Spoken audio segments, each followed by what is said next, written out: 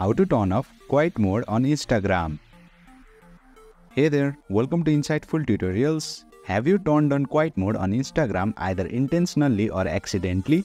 And now want to turn it off but don't know how? If yes, then you are in the right video. Without further ado, let's learn how to disable quiet mode on Instagram. Open Instagram on a device. You will land on its official homepage. Tap on the circle with your profile picture at the bottom. You will be directed to your Instagram profile. As you can see, I am getting this status on my profile which says I am currently in quiet mode. You can turn it off in two ways. Let's learn the first way. Tap on the quiet mode status. A menu will appear from the bottom showing details about the quiet mode ending time. As you can see here, it's clearly written, you can edit when quiet mode starts and ends or turn it off in settings. Tap on the blue colored setting text, you will be directed to the quiet mode settings page. Finally, toggle off the button for the quiet mode feature. A confirmation pop-up will appear.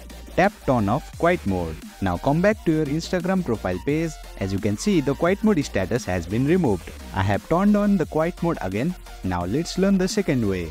Tap on the hamburger icon at the top a menu will appear, tap on settings and privacy. Under how you use Instagram section, you will see the option for notifications. Tap on it, then tap on quiet mode. Finally, toggle off the button for the quiet mode feature. A confirmation pop-up will appear, tap turn off quiet mode. And there you have it, you have successfully learned two of the best ways to turn off quiet mode on Instagram. That's it for today's video.